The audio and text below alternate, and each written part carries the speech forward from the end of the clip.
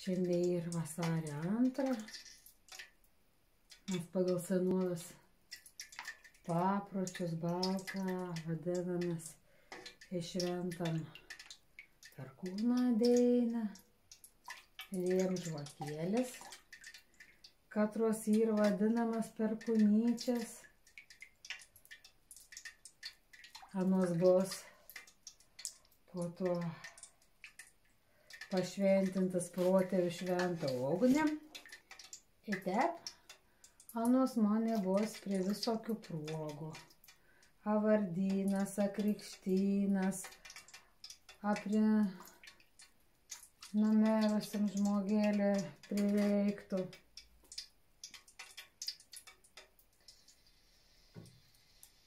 Kaip žino, dabar vyks, nu jei žino, nu aišku, turi žinoti. Dabar vyks gyventojų surašymas. Nu, aš tai žinau, kur aš peldysiu. Aš užpildysiu, ką mano ir baltų tikėjims. Nu, ir žmonių, katriems ant nepatinka pavadinims. Sako, nu kokį mes čia baltą, ne mes čia baltą, ne mes juodi, mes lietuviai mažamaitė, mes uh, esam seną lietuvių tikėjimą išpažinėję. Ir aš dabar galvoju, liedama žvakėlis. Kaip ten ir su ta žemaitė. Likimės paskutinė priimtum krikščionybė, tu atneštą mums religiją. Tokiam solidžiam renginį. Nu, ans ir Seima. Seimons. Vienas ten sakydams kalbą, sako, nu ką, žemaitė, spardėte, spardėtės ir vis tiek prisijungit prie mūsų. Kas tie mūsų? Nu gera, ne apie tai čia. Bet žinot, ką ir su mūsų žmonėm, ypač tuos senesnės kartos, anie sako, kuntė vakėlį pakeisi, kapredam tek palėkim. Mano mamalį, mano tevalis jie į bažnyčią ir aš einu. Ati ko ten eini, tu žinai, ko ten iš vis eini. Kad aš savo mamolis paklausiu, sakau, už kun tu balsuosi? Nu, nebalsuosi, nu kun pažymėsi. Ana sako, aš esu tolerantiška. Sakau, nu kas ta tolerancija? Tolerancija netikėjams. Jas žinau, ką, nu ko, nu jie yra apkrūvas tarp meslenčių, dauguma tarp meslenčių. Bažnyčia, ką na mums netrukdytų, nu ką jau ana ir, nu konda padarys. Bet bažnyčia pradėjo kištis į valstybės reikalus. Oi! Ai, ai. Nu vo, prisidirbu. Matė, kaip ir sako. Nu nedirb dviejų darbų iš karto. O, tervo pušita. Nu gerai.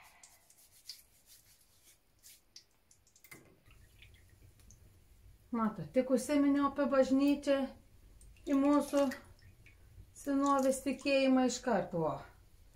Inda dušt, krent. Nežinau, kaip mums.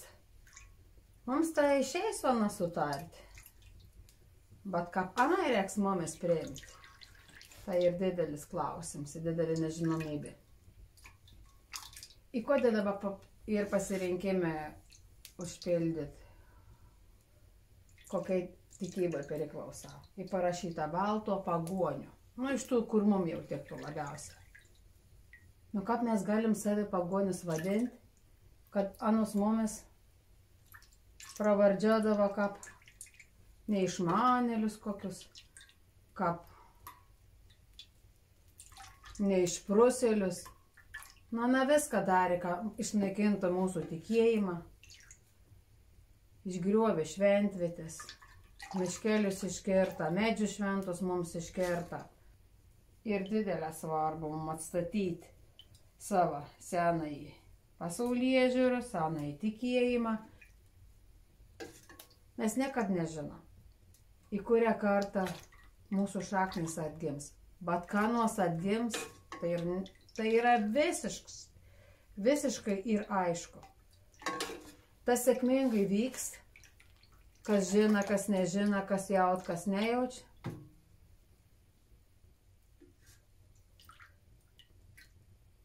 Ir mums ir labai svarbu, kad vakar išvažiuoju gyventi užsienį. Susitoks su savo visokias užsieniečias, visokias uh, nu kitą taučias. Nu, mes negalim už vakų senų gyvenimą sureguliuoti.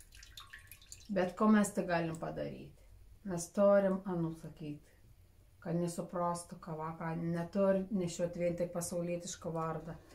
Kad lietuviškas vardas tai bus toks veina grandis, kur ana pririš prie tos mūsų žemės, prie mūsų šaknų. Gal ne, net lietuvišką neapkalbės, bet kaip ani sauks, kaip ani turės tą savo lietuvišką vardą, ne vis tiek pradės domytis, kom tas vards reiškia, iš kur nekėlė. Ir tas vards ir toks lietuviškas vards ir toks kaip sąsajai, taip kaip gėja. Tad kad tiplonyti belikos, pat, ana, pat yra naviltis, kad jie vaka atsigręš. Ne jų vaka, vakų vaka. Mes neturim, ne, mes neturim galvoti vien tik apie save.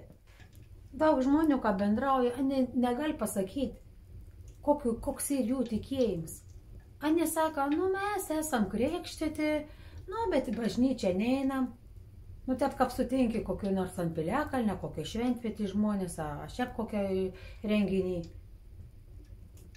Tai jeigu jūs dar neapsisprendėt, kokią esate tikėjimą, tai ką pas jumis ir rusentas protėvių tikėjimas, tas baltų tikėjimas. Jeigu jūs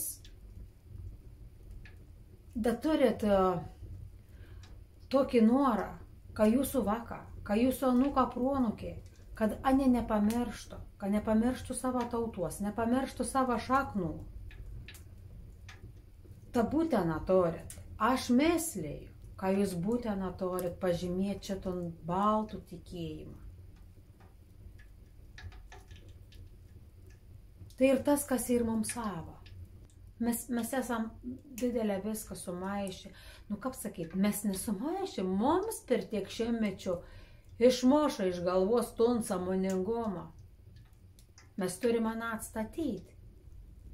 Ir apmūdu, kad savo valstybė esam nepripažinti, kad Seimo balsavimus dėl valstybės, valsty, dėl, kad būtų baltų tikėjams pripažins, įsikiša krikščionių bažnyčia ir anaitakoja mūsų nenaudai galutinius balsavimo balus.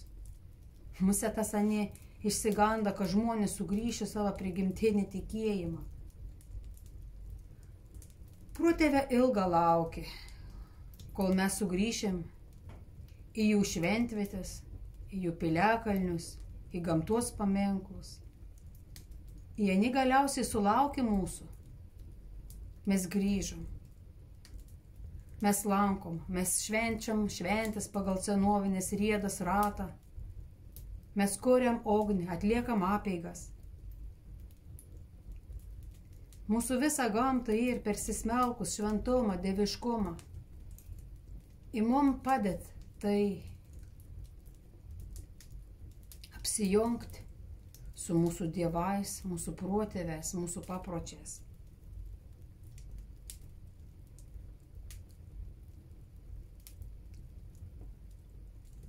Mes atstatinėjam išgriautus amžinos ugnies aukurus, atkūrinėjom šventą protėvį ugnį, dainiuojam dainas, gėdam sutartinės.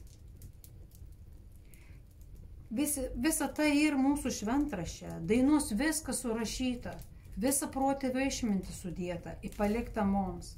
Ne viskas yra žodis į žodį parašyta. Kas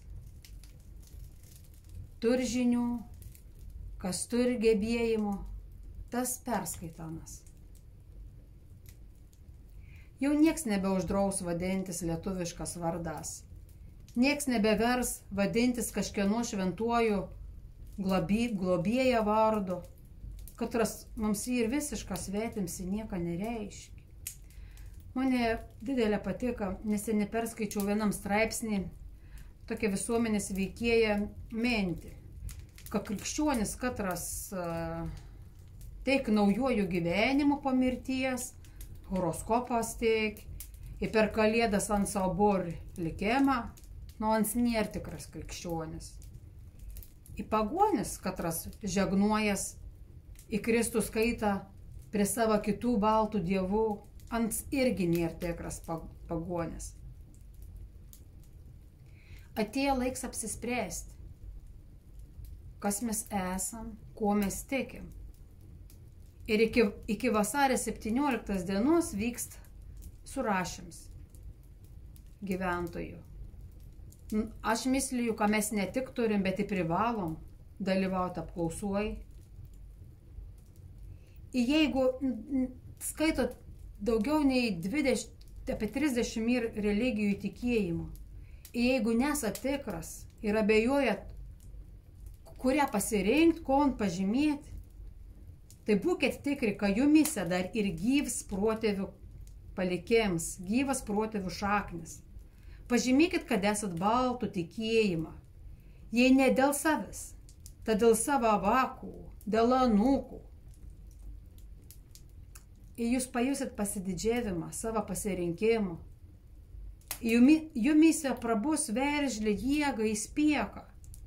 Nu, dabar, nu, nėra geresnės galimybės, kaip dabar pasakyti, ką mes esam, kiek mūsų yra.